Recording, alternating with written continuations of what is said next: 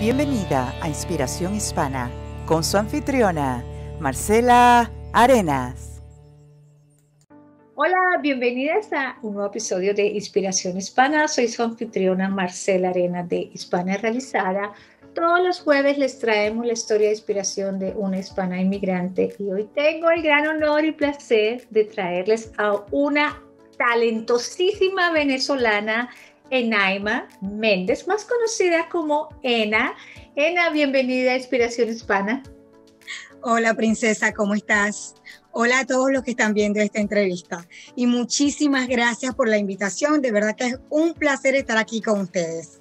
Bueno, tengo que confesarles que Ena es la que me hace a mí el color, así que ya saben quién es este secreto que yo mantengo, lo estoy revelando públicamente, que ha hecho grandes cambios en mi pelo y ella sabe, ella sabe que cuando llega a las manos de ella, ya que tiene ese pelo así, así que es una mujer muy talentosa, pero vamos a comenzar preguntándole qué fue lo que te movió a venirte a este país ya yo voy a cumplir cinco años que salí de mi país y primero estuve en Panamá porque deseaba crecer como profesional y en mi país el estilismo no es a nivel profesional.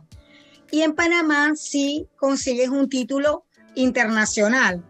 Luego de estar en Panamá, en realidad tuve la necesidad de quedarme por los problemas políticos de Venezuela y las cosas no salieron como yo pensaba. Era complicado, bastante complicado para mí. Y bueno, recibí la invitación de personas queridas a este país y vine a um, ver cómo era. Y me quedé. Qué rico, menos mal te conocí. Ella, de verdad, es una mujer muy talentosa y a las que viven en Atlanta tienen la fortuna de que ella va a Atlanta cada cuatro meses, ¿correcto? Cada cuatro meses. En el mes de junio, a finales de junio, ya está pautado el viaje para Atlanta. Así que ya saben, tienen que contactarla. Al final vamos a compartir sus redes sociales, cómo la podemos contactar y hacen la cita con ella porque de verdad es muy talentosa. Ena, no vivimos en la cuna de la moda, pero sí al ritmo de las tendencias. ¿Cómo lograste adaptarte a esta nueva cultura? Cuando llegué aquí, ya yo me había adaptado a la nueva tendencia. Salí de Venezuela, donde teníamos un poco de atraso con respecto a las tendencias Llego a Panamá, me consiguió con un mundo distinto en la colitrimetría, sobre todo en el tema de los productos, porque a mi país no llegan todas las cosas. Me sentí así como un niño pequeño en Disneylandia. Y entonces cambié el concepto, incluso en mí. Cambié mi imagen y aprendí algo. Como tú quieras verte y como tú quieras proyectar, así tienes que estar. ¿Quieres verte más joven? Tienes que buscar tendencias nuevas. No te puedes quedar en los 80 porque te vas a ver de los 80. ¿Ok? Entonces, en mi pasión está educar a la clienta a que se vea mejor. Uno de mis eslogans favoritos como profesional es, haré de ti la mejor imagen. Me encanta. Y ya ven, para la muestra un botón. y comenzaste solo a los 18 años en este mundo del pelo, de la belleza, ¿cuál ha sido la satisfacción más grande de tu carrera? De la carrera profesional como tal, el haberme convertido en colorista por medio de la Academia, la Vela, eh, fuera de mi país. En aquel tiempo, hace unos 15 años, era un logro máximo ir a Italia y recibir un título como colorista incluso en Venezuela, estar de la mano de las mejores academias de Vela, de L'Oreal, de verdad que ha sido lo mejor, haberme convertido en colorista. ¿Cómo se comienza en este mundo del estilismo profesional? Lo comienzas como un hobby, como un gusto, porque yo estudiaba. Eh, lo comienzas como un hobby con tus amigas, con la familia, y entonces te vas puliendo y ellas mismas te van ilusionando y emocionando. Es más, te puedo decir que mis compañeras de la universidad me sacaron de la universidad y me decían, no, conviértete en estilista. Si tú todo lo que tocas y todo lo que haces te queda fabuloso y no has estudiado. Y era así, yo les cortaba el pelo sin haber estudiado. Y no existían las redes sociales que hay hoy, que hay tutoriales y todas esas cosas. Simplemente de era como algo innato, como algo que me salía, me gustaba, así comencé. Y de verdad que quedé enamorada. ¿Cuál es el reto más difícil que has tenido que superar desde que llegaste a este país? Realmente ha sido la competitividad que hay entre los mismos latinos. De cualquier nacionalidad, tengo que reconocer que a veces hay personas que por subir un escalón, pues dañan a otras, a lo mejor sin querer. Y lo otro es que mi trabajo es personalizado. Y la misma clientela a veces es como opositora a mi trabajo, porque tú misma eres testigo que para una cita conmigo se tarda hasta un mes, porque yo atiendo una clienta a la vez y de manera personalizada. Entonces eso ha chocado en el medio, pero no voy a cambiar mi estilo de trabajo, porque yo no solamente atiendo a la clienta, no solamente se trata de hacer dinero, se trata de crear una obra de arte en un cabello, de esa atención personalizada, porque es el tiempo que te estás tomando para aquí, que para ti, porque en este país hay poco tiempo para nosotras mismas. O sea, a mí me parece que es un tiempo como que sagrado para la mujer, poderse tomar ese espacio para embellecerse y que el estilista te atienda de esa manera y trate de hacer y de dar su mejor trabajo. Eso ha sido un poco de superar, porque aquí se maneja distinto. Sí, es bastante diferente. Y esa parte personalizada me encanta. Y, la verdad, a veces toma hasta dos meses. Yo programo las citas con ella con anticipación, dos o tres meses antes, porque es una mujer que de verdad le dedica el tiempo a hacerlo mejor, el mejor trabajo y a resaltar, sí, cómo embellecer el pelo de una mujer y hacer la mejor imagen nuestra. Sí. ¿Cuál es la tendencia en colorimetría que está en este momento así en furor? Ok, lo que está ahorita en furor es tratar de dejar las raíces muy parecido al color natural de tu cabello. No importa el color que tú escojas para lucir, si bien sea un rubio, si bien sea un color fantasía, si bien sea un morena iluminada, que está muy en tendencia a las morenas iluminadas, siempre mantener la tendencia de la raíz lo más parecido al color natural de tu cabello. ¿Ok? Se llama profundidad. ¿Por qué? Porque eso es la continuidad enseguida de la raíz con la piel y hace ver un efecto efuminado y ese efecto te hace dar naturalidad. Va con tus cejas, tus pestañas, tu color de piel. En realidad esa es la tendencia básica que está en este momento impacta el estado de ánimo de una mujer cuando sale del salón de belleza? Es sobrenatural. Es algo sobrenatural.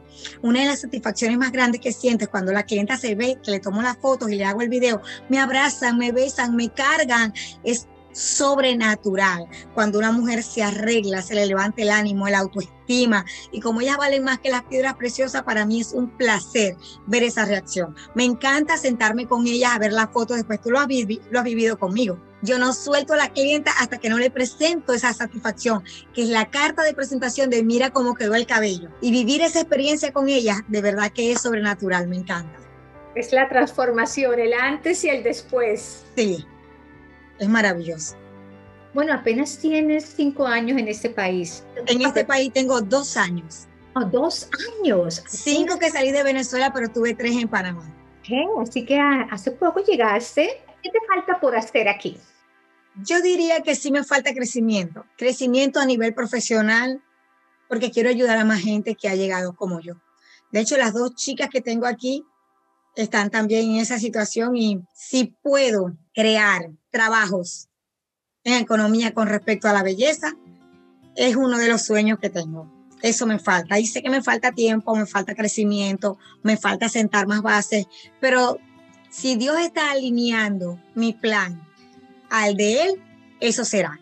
Porque de verdad que quiero ayudar a todas aquellas que se les hace como complicado el mundo de la belleza, darse a conocer por el tema de la licencia, todo eso quisiera dar también educación.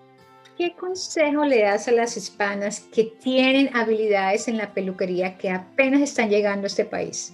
Mi primer consejo es que no tengan miedo. No temas. No tengas miedo. Primero, haz un estudio, una evaluación de hasta dónde llega tu capacidad y tu habilidad adáctala a las tendencias y los productos de este país y de este mundo que es distinto a lo que nosotros traemos y a nuestras raíces. Púlete, no dejes a un lado tu talento, cree en ti y esfuérzate por conseguirlo. Sé que la economía no es la mejor ayuda y que muchas dejan el talento y dejan de trabajar en esto porque tienen que mantener un hogar y una familia. Pero esfuérzate y si puedes hacer el trabajo que necesitas para tu familia y puedes desarrollar tu talento, hazlo al mismo tiempo. A mí me tocó, yo llegué como todas, primero limpié. Es normal, todas conocemos nuestra historia. Hasta que por fin, cuando tenía como mes y medio de haber llegado, una mexicana a la que amo mucho y se llama Flor, me dijo que le arreglara el cabello después de ver mis redes sociales. Y ese día ella me despidió, literal, y me dijo, atrévete, hazlo. Hoy le agradezco a Dios por su vida porque así fue. Me vi en la necesidad al principio cuando nadie me conocía hacia una clienta, dos clientas. Y el otro consejo que les doy es que hagan lo mejor posible, que entreguen lo mejor de ustedes, porque no hay mejor publicidad que la de boca en boca y la recomendación de un buen trabajo. Pero que no dejen su talento a un lado, porque aquí hace mucho falta ese talento latino, ese talento que tenemos para tirar para el techo, como dicen en Venezuela. De verdad que aquí hay muchas mujeres con mucho valor. Así es, y eso es boca en boca Así fue como yo conocí a Ena. Tengo que confesarles, yo acababa de llegar aquí a la Florida, y estaba buscando a una latina, porque yo digo que las latinas conocen el pelo de uno mejor que, el, sí, que el mercado americano, porque somos diferentes, tenemos un Totalmente, la genética es totalmente diferente. Totalmente diferente, y la busqué en las redes sociales y leí todos los, los posts y los comentarios y los los reviews, como dicen, y gracias a Dios la, la encontré porque ha sido de gran bendición para mí. Y por eso dije, Ena, te tengo que invitar a Inspiración Hispana. Quiero que cuentes tu historia. Ena, ¿cuál es tu sueño más profundo? La libertad de mi país. Tocaste mi tecla más sensible. Para los que están viendo la entrevista, yo tengo un centro de acopio en mi casa. Cualquier cosa que aquí nos sirva en tu casa en Estados Unidos, un zapato, una ropa, una lata de comida que tengas, yo la recibo porque hacemos envío. Hacemos envío para Venezuela, estamos trabajando con varias fundaciones cristianas y ayudando a la gente de mi país a comer y a vestirse. Y el sueño más profundo que tengo es eso, volver a ver a Venezuela libre y estable. Y yo sé que no depende de mí, que a lo mejor lo que hago es poquito, pero mira, a veces en el comedor comen a la semana más de 400 o 500 personas. Y ese granito de arena, ¿cómo ayuda a esas 400 o 500 personas que no pudieron comer si no iban al comedor? De verdad que invito a toda Latinoamérica, pero sobre todo a los venezolanos, a no desertar este sueño de ver a Venezuela libre y de dar ese poquitico que podamos.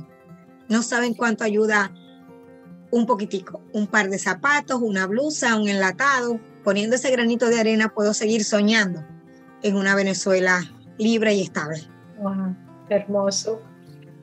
Bueno, para conocerte mejor, respóndenos en breve. ¿Cuál es el tono de tinte que más te gusta usar? A mí me encanta toda la línea de los turquesas, los acuamarines, los azules, es mi favorito. Por eso es el color que identifica mi marca. Me encanta. Y bueno, y después de ese, la combinación de eso con el verde me fascina. Mi marca lo tiene, tú lo has visto. Sí, es cierto. Soy yo en pleno. Me encanta que tienes bien en claro cuál es tu marca y los colores que te identifican. Definitivamente algo muy necesario para cualquiera que quiera salir adelante en, su negocio o en su emprendimiento. ¿Qué es lo más atrevido que has hecho a una clienta? Lo más atrevido que he hecho una clienta es haberle hecho un arco iris en la parte, aquí en Estados Unidos, en la parte de abajo del cabello. Este, una cliente espectacular, se dejó toda la parte oscura en la parte de arriba y aquí adentro hicimos todo el arco iris. Eso quedó sensacional. En mis redes sociales está. Fue el año pasado, fue una producción increíble, bellísimo, espectacular. qué interesante, tengo que buscarla, qué interesante. Sí. ¿Qué superpoder te gustaría tener? El de sanar, el de sanar el alma. A veces la sanación física puede venir por medio de medicamentos, operaciones, cirugía, pero a veces los seres humanos nos cuesta más sanar el alma. Sanar el alma por falta de perdón, por falta de perdonar, por tristezas, por anhelos, por arraigos, por odio. Quisiera tener un poder mágico en mis manos y tocar y sanar el alma de todas las personas porque eso trae felicidad. Mm, qué lindo. ¿Qué le, ¿Qué le dices a esa hispana inmigrante que está llegando a este país? Primero que no suelte la fe. Esa es mi bandera, mi estandarte, mi bastón, mi apoyo. La fe en un Dios que todo lo hace posible. Segundo, que se relacionen sin temor. Habemos hispanos buenos y habemos hispanos malos, pero los buenos somos más. Ese es un hashtag que yo uso mucho, porque relacionarse es bueno. Mira, Marcela, tú entraste a mi vida sin yo pensarlo y mira dónde estoy. ¿Sí me entiendes? Conectarse es yo le llamo conexiones de oro, conexiones divinas, que se esfuercen, que sean valientes y que no tengan miedo. Qué lindo, qué lindo. Ena, regálanos tus redes, ¿cómo te podemos encontrar? ok, soy Ena Color en Instagram y en Facebook. Y en Facebook también tengo una página como Enaima Méndez, donde también posteo mis trabajos. Ok, ya escucharon Enaima Méndez y Ena Hair Color, ¿correcto? Sí. Y para aquellos que quieren ayudarte con, ayudar a Venezuela, ¿te pueden contactar por ahí o tienes Sí, me puedes contactar por Instagram, no, directamente por el Instagram, por el Facebook, por el WhatsApp. Yo los atiendo a todos a su tiempo, pero los atiendo. A veces tardo un poco en contestar por el exceso de trabajo, pero los atiendo. Y si yo recibo de todo. Eh, la gente, como la gente a veces es un poco con el dinero, con el asunto del dinero, el que no me conoce, pues yo recibo ropa usada, zapatos usados, comida, nuevo, todo lo que quieran aportar. Eso se va distribuyendo, se divide en renglones y se busca los sitios más necesitados. Esta semana voy a estar proyectando en mis redes el trabajo que se hizo en el mes de abril que fue bastante fuerte y se llegaron a bastantes hogares y a muchos niños necesitados. Estamos trabajando mucho con la niñez. Ay, qué lindo. Ena, ¿cuál es tu mantra o lema de vida? Filipenses 4:3. En Cristo todo lo puedo que me fortalece. Amén. No lo suelto. Todo, todo lo podemos a través de él, definitivamente. Sí, sí. ¿Algo más que te gustaría compartir, Ena? No se olviden de la esencia de ser mujer. La vanidad y la belleza fue dada por Dios. El uso que cada uno le dé será cuestión de cada uno, pero lo que Dios nos dio no se puede abandonar. Y ser bellas es esencia. Tener vanidad para arreglarnos es parte de nuestra esencia. Y por más que tengamos mucho trabajo, el hogar, los niños, la pareja, no debemos dejar nuestra esencia de mujer y es de embellecernos. Me encanta tu mensaje. Muchísimas gracias, Ena. Fue un Gracias a ti.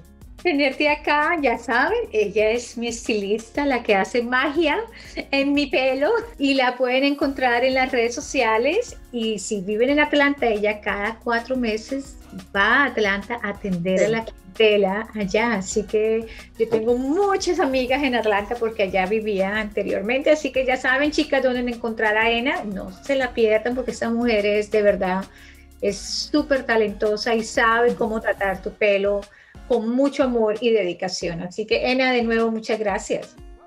Gracias a ustedes.